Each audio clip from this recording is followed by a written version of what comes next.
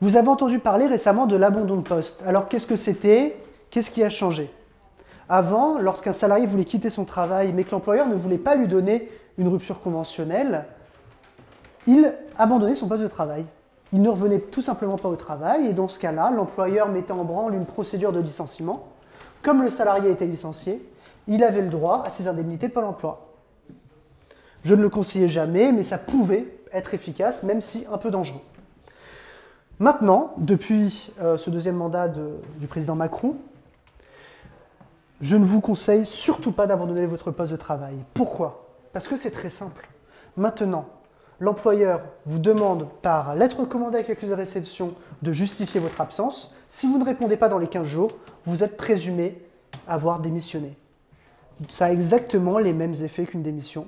Et donc, c'est dangereux pour vous, vous ne touchez pas Pôle emploi. Donc s'il y a un conseil à retenir de cette vidéo, ne faites surtout pas d'abandon de poste. C'était Maître Marlon Zard du cabinet Howard spécialisé dans la défense des salariés.